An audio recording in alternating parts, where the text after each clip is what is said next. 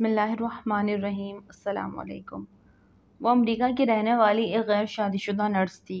उसने कभी इस्लाम और इस्लामी तालीमत के बारे में ना तो जानने की कोशिश की थी, ना किसी ने उसे इस्लामी तालीमत की अफ़ाक़त के बारे में कुछ बतलाया था।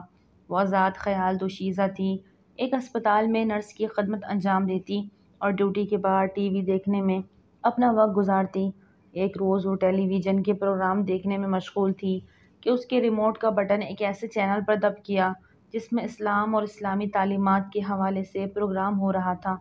ये पहला मौका था, उसने इस्लामी तालीमत के हवाले से कोई चैनल ना देखा था।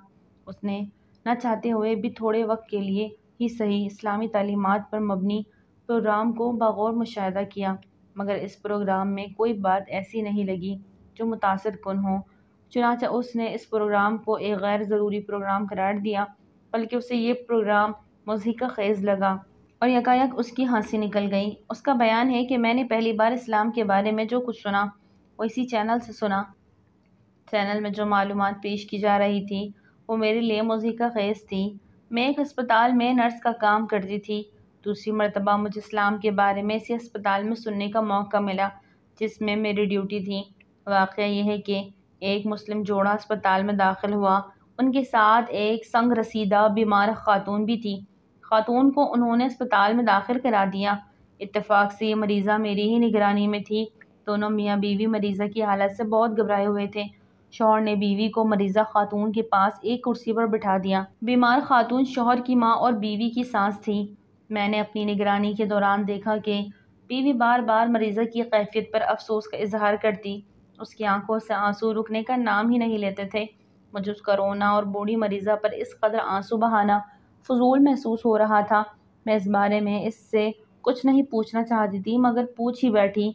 मैंने इस औरत से कहा कि आखिर क्या वजह है कि तुम इस बूढ़ी मरीज़ा पर इस कदर आँसू बहा रही हो? ये तो उम्र रसीदा है।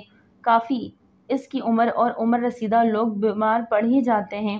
फिर इस कदर आँसू बहाने की वजह क्या है?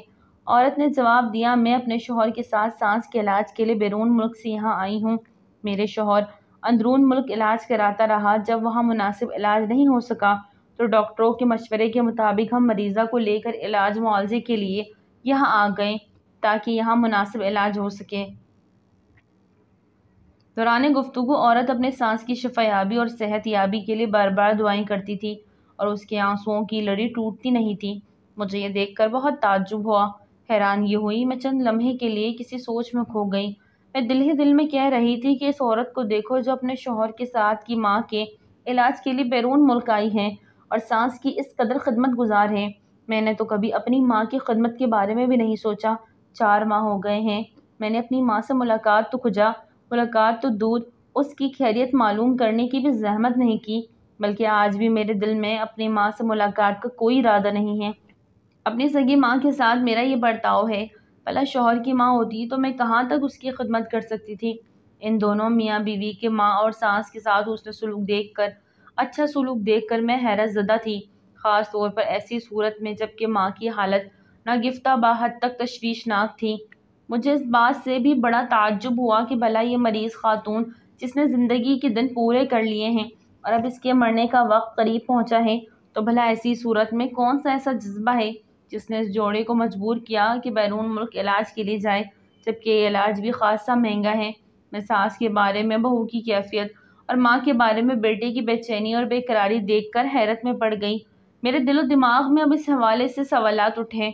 मैं अपनी माँ के साथ अपने सलूक और अमरीकियों की अपनी माओं के बारे में जो नारवा सलूक देखती थी, इस पर मैं बार बार गौर करती थी।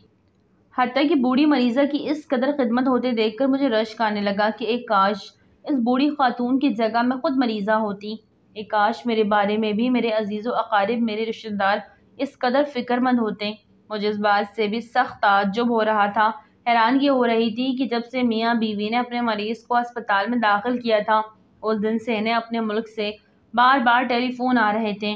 कोई इनसे मरीज़ की हालत पूछता, उनके हालात दरियाफ़ करता, कोई अपनी हमदर्दी जताता, कोई अपनी खदमत पेश करने की यकीन दहानी कराता। एक रोज़ मैं वेटिंग हॉल में दाखिल हुई तो देखा कि वो खातून तनहा बैठी है, अकेले बैठी है। इससे अपने जहन में उभरते हुए सवाल के बारे में पूछना चाहा। उसने मेरी बातें सुनने के बाद इस्लाम के हवाले से इस्लाम के बारे में बहुत सारी मुफीद बातें बतलाईं और इस्लामी तालीमत में वालदेन के हकूक़ और एहतराम की अहमियत पर रोशनी डाली। मैंने हकूक़ुल वालदेन के बारे में इस्लाम की पाकिज़ा तालीमत सुनी तो मेरे कान खड़े हो गए। मैं अपने आप को कोस रही थी कि मैं किस कदर बदनसीब हूँ कि आज तक मज़हब इस्लाम की तस्किन बख्श रूहानियत भरी तालीमत से कोसों दूर थी।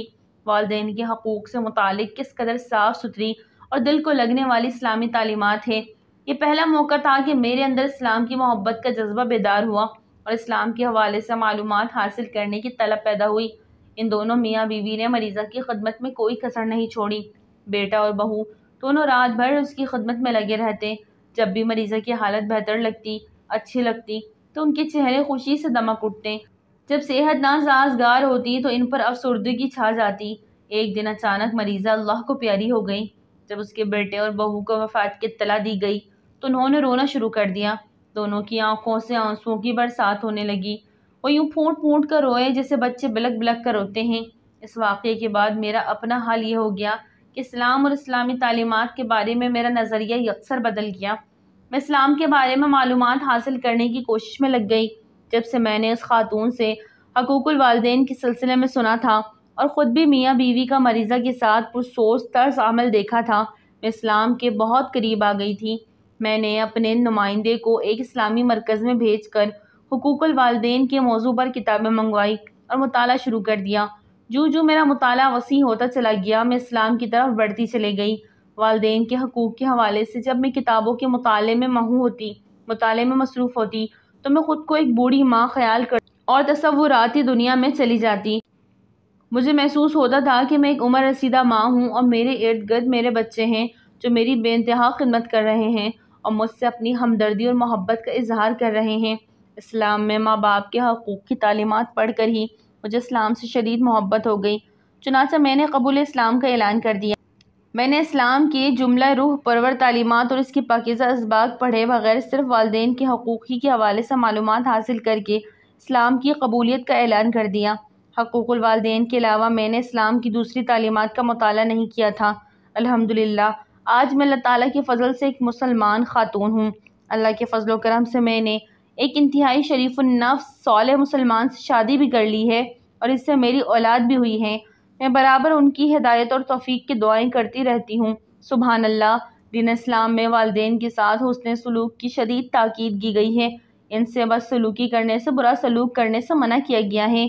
औलाद पर वालदेन का हक़ इतना बड़ा है कि अल्लाह ताला ने अपने हक़ के साथ वालदेन के हक़ बयान फरमाए हैं। यानी मखलूक खुदा में हक़ वालदेन को बाकी तमाम हकूक़ पर तरजीह दी है। इसी तरह हजूर नबी करीम सल्लल्लाहु अलैहि वसल्लम ने भी वालदे की नाफरमानी करने, इन्हें अजियत व तकलीफ़ पहुँचाने को कबीरा गुना करार दिया है। वालदे से बदसलूकी करने वाले बदनसीब को रहमत इलाही और जन्नत से महरूम करार दिया है। दुआ है कि अल्लाह ताला हमें अपने वालदेन की खदमत करने की तोफ़ी ता फ़रमाए। आमीन सुमामीन